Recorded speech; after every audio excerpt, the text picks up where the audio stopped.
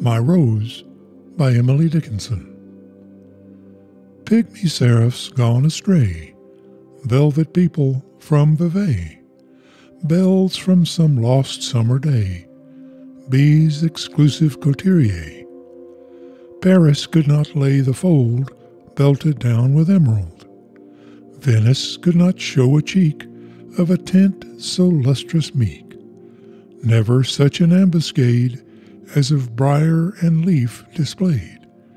For my little damask maid, I had rather wear her grace than an earl's distinguished face. I had rather dwell like her than be Duke of Exeter.